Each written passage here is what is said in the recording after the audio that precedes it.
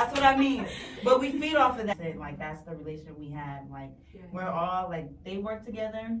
But I've never worked with them, and like Octavia said, it's her first time. But for us to just feels be able like to a meet each other, sisterhood. it feels like a sisterhood. It feels like Yeah. family. Like all day. Okay, so that's wonderful. We love to hear that. That sounds like a full circle movement, which is what we're out for. Coming full circle. We gotta mm-hmm. trust the wisdom of the circle. So with that, what's the one song when you hear it come on? I know we're all sisterhood here, but it's a wrap for the rest of the girls.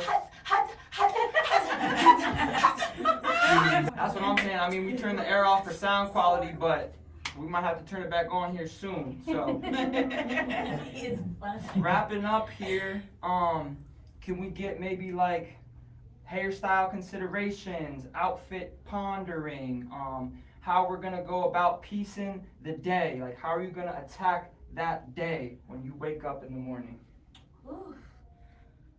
When I wake up in the morning, I might be throwing on a blonde wig or something. Y'all never know. because listen, when I put on a blonde wig, okay, so I You're a dance, different person. and my dance name is Honeybee. Mm. And when Honeybee put on this blonde wig, baby, y'all can't tell her nothing.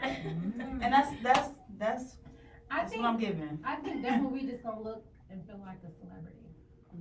I don't want to give you too much. You, you're trying to get too much out of Yeah, come Oh, on. You gotta be surprised. You Come it. out and be surprised. So the show actually starts at seven, but we're gonna make sure everybody get there by six fifteen.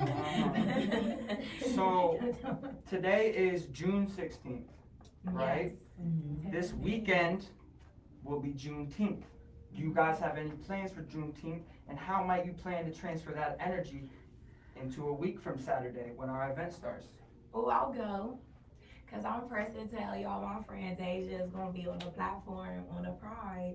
Um, Yes. Juneteenth, I'm going to be um doing yoga. There's a, uh festival on yoga. I am an energy-based person, so having a good energy uh will bring on a, a vibration for. better There's count in, $25. count up.